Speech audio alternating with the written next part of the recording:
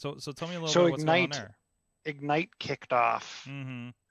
and one of the things that they kicked off with was some of the 2D and 3D Microsoft Team stuff, and, and one of its mesh, um, which brings kind of the Oh no. 3D virtual reality avatar I don't know what avatar like. I don't know what's creepier presence. that they're floating torsos in a room or that they're running Microsoft Edge.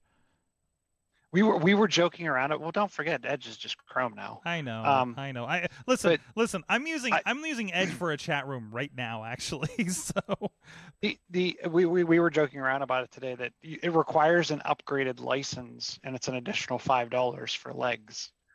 Um, five dollars for legs.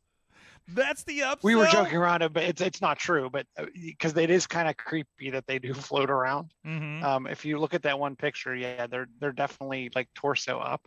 And then I said, can I get a discount if I give my torso back and just use the the a floating head license? Floating Um, head license. But I, I did think it was cool how they had kind of the side by side two avatars talking, um, where you Mm. could walk up, like it's it's almost kind of that VR-ish feeling. Um, it will do live transcription, so they're borrowing some of their existing tech. The other cool thing, if you look at the picture towards the bottom, it looks like it's in a uh, right there. Mhm. Um, you are actually going to be able to take and design your own 3D physical space, well, virtual physical spaces, um, to base them off of